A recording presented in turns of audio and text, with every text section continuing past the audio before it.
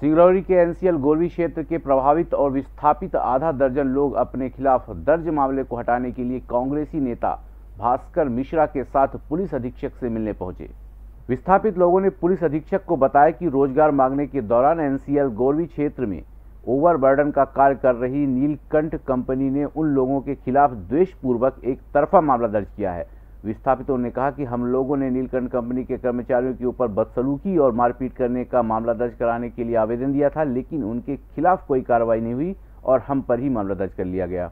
गोरबी क्षेत्र के कुछ विस्थापित मेरे पास आए थे और इनका ये कहना था कि पूर्व में जो इनके द्वारा आंदोलन किया गया है, उसमें एक पक्षी कार्रवाई की गई है, इनके पक्ष को नहीं सुना गया है। और जो कंपनी का मैनेजमेंट है उसकी शिकायत पे कार्रवाई की गई। तो इनके यहाँ इनका जो भी विषय है जो भी आवेदन दिया है उसको निष्पक्षता से देखेंगे और जो भी समुचित निकल के आएगा उस हिसाब से। ये मामला गोरबी बी ब्लॉक के विस्थापितों का है और ये जो ग्रामीण हमारे साथ आ, आपको दिख रहे हैं। इनके खिलाफ पुलिस ने गैर ज़रूरी तरह गैर ज़रूरी तरीके से मुकदमा कायम कर दिया है। ये लोग वहाँ के विस्थापित और प्रभावित हैं। रियल विस्थापित और प्रभावित है जिनको वहाँ जिनका पूर्णतः हक बनता है कि वहाँ के जो भी कंपनियाँ आती हैं या एनसीएल में रोज़गार इनको दिया जाए। क्योंकि ये लोगों ने अपनी ज़मीनें दे दी जो विस्थापित हैं और जो प्रभावित हैं उनकी ज़मीनें खराब हो जा रही हैं उनकी फ़सल खराब हो जाती है। इनके पास रोज़गार अगर नहीं मिले तो कोई भी चारा नहीं है कि अपने परिवार का पालन कर सके।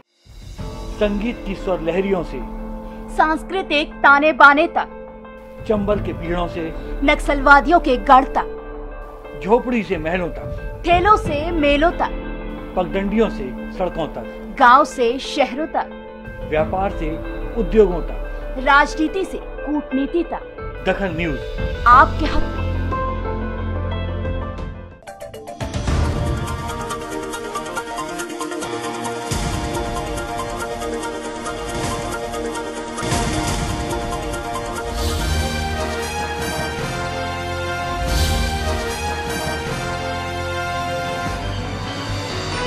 आप देख रहे हैं दखल न्यूज़।